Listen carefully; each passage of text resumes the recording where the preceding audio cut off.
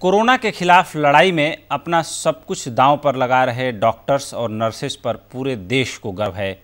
लेकिन हाल के दिनों में जिस तरह से इन कोरोना वॉरियर्स के लिए खतरा बढ़ रहा है, वो सबके लिए बड़ी चिंता की बात है। आइए देखते हैं बहुत छोटी सी रिपोर्ट।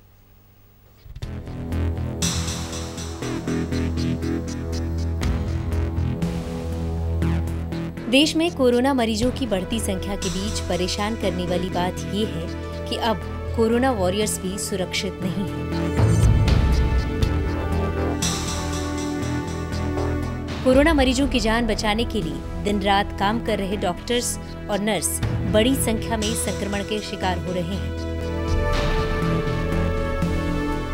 मुंबई के वोखाट अस्पताल में 26 नर्सों और तीन डॉक्टरों के कोरोना पॉजिटिव पाए जाने के बाद अस्पताल को प्रतिबंधित क्षेत्र घोषित कर दिया गया है अस्पताल के सभी स्टाफ की स्क्रीनिंग की जा रही है। साथ ही किसी को भी यहाँ से बाहर जाने या अंदर आने की अनुमति नहीं है। बताया जा रहा है कि अस्पताल में भर्ती एक मरीज़ से कोरोना वायरस का संक्रमण नर्सों के ज़रिए बाकी स्टाफ में फैला है। बीएमसी ने इस बात की जाँच के आदेश दिए हैं कि इस अस्पताल में चीज़ें काबू से बाहर कैसे हुई।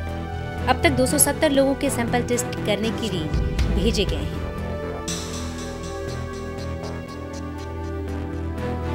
उधर दिल्ली स्टेट कैंसर इंस्टीट्यूट में एक डॉक्टर और 11 नर्सिंग स्टाफ भी कोविड 19 से संक्रमित पाए गए हैं।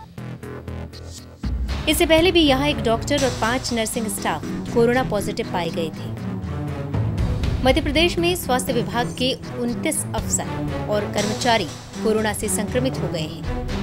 देश भर में बढ़ रहे ऐसे मामलों से डॉक्टरों और नर्सिंग स्टाफ को ये लगने लगा है कि ये संक्रमण उनके परिवार तक न पहुँच जाए।